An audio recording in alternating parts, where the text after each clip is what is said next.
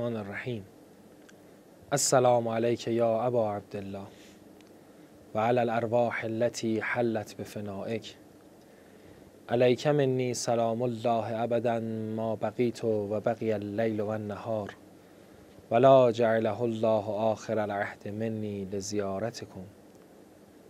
السلام علی الحسین و علی علی ابن الحسین و علی اولاد الحسین.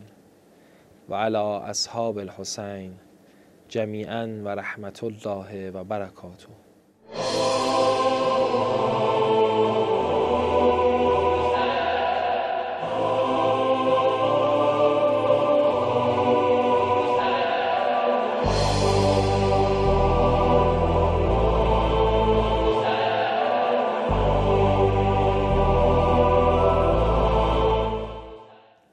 توفیق داریم. در ایام ماه محرم به برکت سید الشهدا پیرامون اهل بیت علیهم السلام و مقامات اهل بیت علیهم السلام گفتگو کنیم. یکی از مطالبی که شاید به فراخور واقع داستان کربلا مطرح بشه و شاید به نوعی با اتفاقات امروز ما رابطه ای داشته باشه این مطلب هست که چرا دشمنان اهل بیت علیهم السلام و چرا دشمنان شیعیان اینقدر قصاوت قلب به خرج می‌دهند. ما جنگ های بسیاری رو در طول تاریخ دیدیم. کشتارهای زیادی انجام شده. در خیلی از جنگ ها دو گروه با هم می جنگن همدیگر رو می‌کشن و بعد تمام می شود جنازه های همدیگر رو تحویل می گیرن دفن می‌کنن اگر اسیری داشته باشن بعد از یه مدتی اونها رو با همدیگه تبادل می‌کنن اما وقتی داستان به واقع آشورا و شاید به یه نوعی در امروزه ما میفته می‌بینیم دشمنان اهل بیت علیهم السلام و دشمنان شیعیان از ابزارهای دیگری و به شیوه دیگری جنگ می‌کنن. از اون چارچوب ها و قواعدی که در عرف جنگ هست استفاده نمی‌کنن. قصاوتی رو به خرج می‌دهند که شاید در روزمره کسی این کار انجام نده. اگر می‌کشی کسی رو میبایست به او احترام بذاری. در داستان جنگ خندق داریم. هنگامی که خواهر امر ابن عبدود بعد از جنگ بر سر بالین برادرش اومد اصلا گریه نکرد. از او سوال کردند که مگر برادر تو برای تو عزیز نیست؟ گفت چرا؟ من در دنیا عزیزتر از برادرم کسی برای من نبود. از او سوال کردن که پس چرا برای عزیز خودت گریه نمی کنی؟ گفت چون من افتخار می کنم که برادرم به دست یک پهلوان و به دست یک جوان مرد از دنیا رفته. سوال کردن که از کجا این مطلب رو متوجه شدی؟ گفت از اونجایی که به تمام جواهرات و شعوناتی که برادرم داشت هیچ تعرضی انجام نشد. وقتی که جنگ پایان یافت امیر المؤمنین به تمام لباس و زره و کلاه خود و تسلیحاتی که امر ابن عبداد با خودش آورده بود و در این حال جواهرات زیادی که به خودش آویزون کرده بود به هیچ کدام اونها حضرت تعرضی نکردند. گفتند که این فرد بزرگ قوم خودش بوده و لذا ما بایستی این بزرگ رو برای قوم خودش بزرگ بداریم. ولی اینکه فرد کافر بوده ولی اینکه به جنگ با حجت خدا آمده اما قاعده رو حضرت رعایت فرمودند. این مطلبی است که ما در واقع آشورا در تک تک لحظات در تک تک اتفاقات این مطلب رو نمی‌بینیم. اگر کشتید چرا اسمان خودتون رو بر جنازه های افراد تاختید؟ اگر کشتید چرا اجازه دفن این افراد رو ندادید؟ اگر می‌خواهید بجنگید پس چرا چند روز قبل آب رو به روی اون اصحاب و به روی اون خیمه ها میبندین؟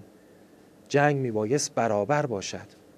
اگر قرار از هفتاد و اندی صد و اندی افراد با شما که در تاریخ آوردن که بیش از سی هزار نفر بوده اید مگه این افراد چقدر می‌تونن بجنگن؟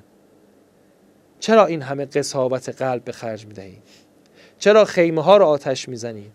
و هزاران هزار چرای دیگری که عین همین داستان رو حتی ما در امروزه هم می‌بینیم. چرا در دنیای امروز ما با همه این پیشرفت هایی که انسان ها داشتن باز میبایست در عصر ما وقتی این افراد حمله ور به شیعیان می‌شوند اون فرد ادعا بکنه که من قلب اون شیعه رو از بدنش در میارم و در جلوی دوربین قرار بگیره و از همگان بخواهد که فیلم از او بگیرن در حالی که او قلب کسی را در زیر دندانهای خودش قرار می‌دهد. کشتن و جنگیدن امری است که در طول تاریخ بوده است. اما این قصاوت قلب ریشه دیگری داره. که خداوند در سوره مبارکه ماعده میفرماید فبما نقضهم میثاقهم لعناهم و جعلنا قلوبهم قاسیه. کسانی که عهد خودشون رو نقض می‌کنن پیمان خودشون رو درگاه الهی که همان پیمان در روز قدیر بود نقض کردن من خدا اونها رو لعنت می‌کنم. مورد لعن الهی قرار خواهند گرفت. و جعلنا قلوبهم قاسیه. خداوند قربهای اونها رو قسی قرار می‌دهد. امر امر جنگیدن تنها نیست. امر کشدار نیست. بحث بر سر بغض بر امیر المؤمنین است. اگر در طول تاریخ این افراد رو به شهادت رسوندن همه همه ریشه در بغض این افراد داشت. لذا هنگامی که در لحظات آخر عمر شمر دوستش از او سوال می‌کنه که ای شمر پشیمون نیستی از اینکه این کار رو با سید و شهدا انجام دادی. پشیمان نیستی از اینکه در واقع آشورا بودی. پشیمان نیستی از این همه جنایاتی که انجام دادی. پاسخی که شم می‌دهد این است نه. اگر صد بار دیگه به این دنیا بیام و امر بشم به این مطلب قطعا همین کار رو انجام خواهم داد. و جعلنا قلوبهم قاسیه. خداوند قلبهای اونها رو قسی قرار داده است. رحمی در اونها وجود نداره. دین اونها رو خدا خشن قرار میده. اگر دقت بکنیم دین الهی که همان رحمت الهی است. از اون جایی که پیغمبر اکرم رحمتون للعالمین است. از اون جایی که ائمه علیهم السلام باب رحمت خدا هستند. در برخوردهایی که ائمه علیهم السلام با دشمنانشون داشتن. هنگامی که همه اونها هر توهینی که از دستشون برمی آمد خطاب ائمه علیهم السلام انجام می‌دادند. و سرآخر ائمه از اونها دلجویی می‌کردند که آیا گرسنه ای پوشاکی داری؟ غریب هستی؟ و در جایگاه خودشون به اونها جایگاهی می‌دادند چرا که باب رحمت خدا بودن. اما در مقابل دشمنان اهل بیت علیهم السلام هر کاری که در دستشون برمی آمد به بدترین شکل نسبت به اونها و نسبت به شیعیان اونها انجام می‌دادند. که نشان از نهایت کفر اونها نسبت به خداوند بوده است. در داستان جنگ سفین داریم که سپاه معاویه آب رو بر روی سپاه امیرالمومنین میبندند در یکی از فتوحات سپاه امیرالمومنین می‌تواند که شریعه رو بگیره. اصحاب خدمت امیرالمومنین می‌رسند و به حضرت عرضه میدارند که اگر اجازه بدیم ما هم آب رو بر اونها ببندیم. امیرالمومنین پاسخ می‌دهند برای چی این کار انجام بدیم؟ ما داریم میجنگیم. آب بستن امری است که خدا برای افراد قرار داده. اونها هم انسان هستند اونها هم مثل ما می‌خواهند جنگ برابر باشه. اگر من فردی رو به او غذا ندهم آبی ندهم و بعد برم با او بجنگم کجای انسانیت من اجازه چنین مطلبی رو میده؟ اما همین افراد در واقع آشورا وقتی آب رو به روی سید الشهدا میبندند وقتی حضرت تقاضا می‌کنند که حتی برای طفل شیرخوار خودشون تنها قطراتی آب که باعث فتوحات برای سپاه نمیشه چون حضرت دیگه سپاهی نداشتن. همه به شهادت رسیده بودن. ندادن آب به یک فرزند شیرخواره که جنگ رو تغییر نمیده جنگ رو وارونه نمی‌کنه. سپاه اون طرف رو پیروز نمی‌کنه. امیدی به اون سپاه بر نمیگردونه. چون دیگه سپاهی هم باقی نمونده. پس به چه دلیل می شود که حتی حاضر نمی شود به فرزند شیرخواره سید شهدا هم آب بدهند؟ این نیست مگر به قصاوت قلبی که خداوند در وجود اونها قرار داده. به کفری که در وجود اونها قرار گرفته است. که همه اینها تمام اعضا و جواره اونها را قرار گرفته و تحت شعا قرار داده که هر کس از درگاه رحمت خدا دور شود جز بغض و کینه در وجود او نخواهد بود. حل دین الا الحب و البغض. آیا دین چیزی است غیر از حب فلاح و بغض فلاح اگر کسی حب در درگاه الهی نداشته باشد تمام وجودش بغض رو فرا خواهد گرفت. تا جایی که حتی حاضر نمی شود به فرزند شیرخاره ای تعامی بدهد آبی بدهد. و یا او را نجات بدهد. و برای رسیدن به دنیا دست به هر کاری می‌زند. و جالب اینجاست که در همین دنیا همه اونها به همون مجازاتی که برای دیگران داشتند به همون برخوردی که با دیگران داشتند مبتلا شدند که تازه این مطلب برای این دنیای اونهاست. تا چه رسد به آخرت اونها. لذا آب که مهریه حضرت زهرا سلام الله علیها بوده است. دشمنان بر سپاه سید الشهدا میبندند و امام غریب ما رو با لبان تشنه به شهادت میرسونند. تعبیر و صفتی که در تمامی داستانها و تعابیری که جبرئیل برای انبیا هم آورده است سید الشهدا رو در روز آشورا عطشان ندا دادند جمله ای که امام زمان علیه السلام به هنگام ظهور این مطلب را برای همه اهل عالم بیان می‌دانند الا یا اهل العالم ان جدی الحسین قتلوه و عطشان بودن سید الشهدا به هنگام شهادتشون مطلبی است که مورد خطاب همه شیعیان قرار گرفتند که بدانید امام شما را با لب تشنه به شهادت رسیدند پس شیعتی. ما ان شربتم از ما ان فسکرونی او سمعتم به قتیل او شهید فندبونی شیعیان من هرگاه به آب زلالی رسیدید من سید الشهدا را یاد کنید. شیعه با یاد ائمه علیهم السلام زندگی می کند در تمامی مراحل زندگیش به صبحی که از خواب برمیخیزد به امامش سلام می‌دهد.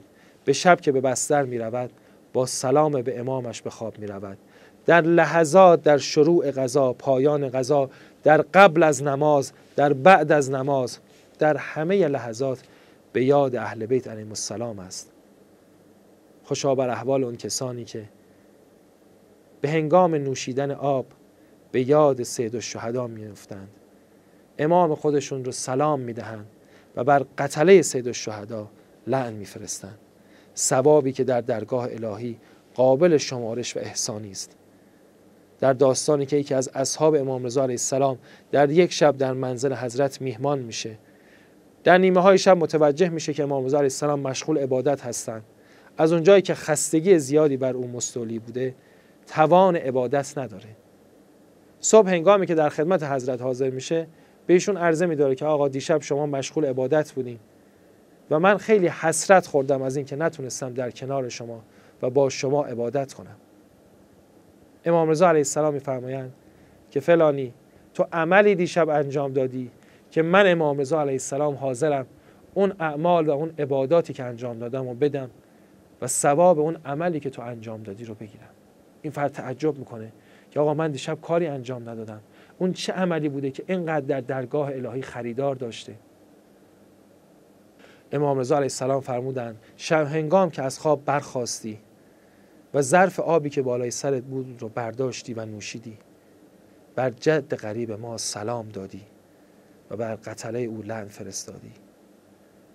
من امام رضا علیه السلام حاضرم که ثواب عبادات دیشبم رو با این عمل تو محافظه کنم. عمل عمل بزرگی است به اتصال به سید الشهدا. چه سلام به آن حضرت چه گریه در مصیبت اون حضرت چه شرکت در مجالس اون حضرت چه قضایی که با او پیوند پیدا کند و هر آنچه را که افراد در ارتباط با سید الشهدا انجام دهند در درگاه الهی به یک شکل دیگری خریدار داره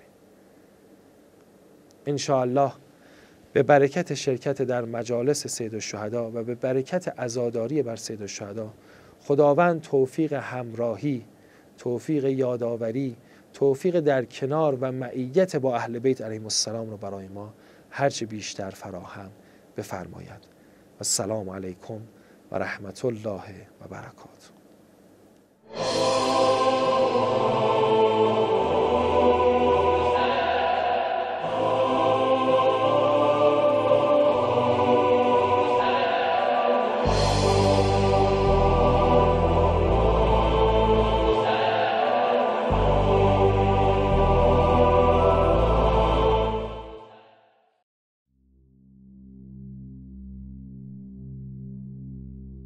در نیم روز روز یازدهم عمر سعد آهنگ بازگشت به کوفه کرد.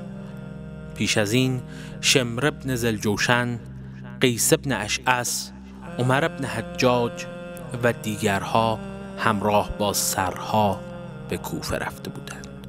عمر سعد به یکی از فرماندهان فراخان برای حرکت به سمت کوفه داد. در این هنگام مجموعی از کودکان، زنان و امام سجاد علیه السلام آماده حرکت می شدند. وضعیت کاروان اسیران بسیار دردناک و اندوه بار بود همگی سوگوار زخم خورده شاهد شهادت عزیزان اموال به یغما و غارت رفته پاها زخمی و تاول زده صورتها کبود و اشکبار غریب و شکست دل نگران سرانجام و فرجام کار زیر زخم و بارش تازیانه آماده سفر می شدند حضرت زینب جمع پراکنده را با سختی و دشواری گرد آورده بود. چشمها همه به او بود و او پناهگاه و یاور این لحظه های بی پناهی و قربت و اسارت بود. برخی نوشتند که کاروان را از کنار قتلگاه عبور دادند. و عبور از کنار گودال عمدی و برای آزار بیشتر روانی بازماندگان بوده است. ابن اسیر می نویسد کاروان اسیران را از کنار پیکر حسین و یارانش عبور دادند. زنان نوحه و شیون کردند و سیلی بر صورت نواختند. زینب فریاد زد یا محمد! سلام فرشتگان آسمان بر تو باد. این حسین توست که با بدن پاره پاره برهنه و خونالود بر خاک افتاده است. دخترانت را به اسارت گرفتند و فرزندانت را کشتهاند باد بر آنان میوزد. با گفتن این سخنان گفتند که دوست و دشمن گریستند. در لحوف آمده است که آنگاه زنان را از خیمه بیرون آورده و آن را آتش زدند. آنان با پای برهنه بیرون آمدند و به اسارت رفتند. در آن هنگام گفتند شما را به خدا سوگند ما را از قتلگاه حسین عبور دهید. چون چشم زنان به پیکر شهیدان افتاد ناله و شیون سر دادند و بر گونه ها سیلی نواختند. راوی گوید به خدا سوگند زینب دختر علی را فراموش نمی کنم که شیوه کنان و اندوه زده و شکست دل می گفت یا محمد درود خدا بر تو باد این حسین است که اوریان و خونالود و چهره خاکالود بر زمین افتاده است. وای بر من دخترانت را به اسارت می‌برند. من به محمد مصطفی علی مرتضا فاطمه زهرا و حمزه سید الشهدا شکایت می‌برم. راوی می‌گوید با بیان این جملات به خدا سوگند دوست و دشمن بر حال او گریستند. اینکه با عبور از کنار گودال قتلگاه چه شد و بازماندگان چه کردند روایات گوناگونی است. اسفرایانی می نویسد عمر سعد فرمان داد زنان را با زور از پیکر حسین جدا کردند و آنان را در میان دشمنان بر اشتران بی جهاز نشاندند و با داشتن بدترین غمها و مسایب مانند اسیران حرکت دادند. نوشتند ام کلسوم با رسیدن به گودال قتلگاه خود را از شطور بر زمین افکند و برادر را در آغوش کشید. با گریه و زاری می گفت ای رسول خدا فرزندت را ببین که بدون کفن بر زمین افتاده است. کفن او خاک است که بر سر او میوزد و خون جاری شده از رکهایش او را قسل داده است. اینان اهل بیت او هستند که به اسارت می روند و حمایت کننده ندارند.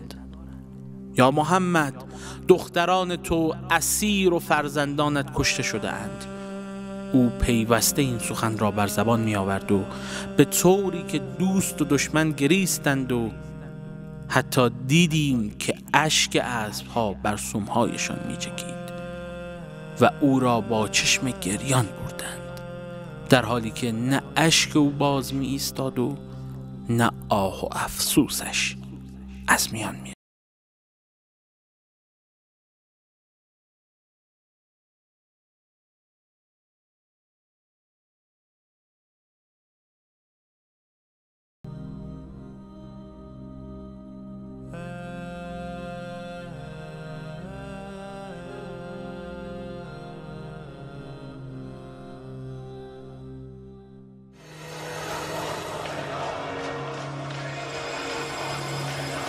Saab Kona.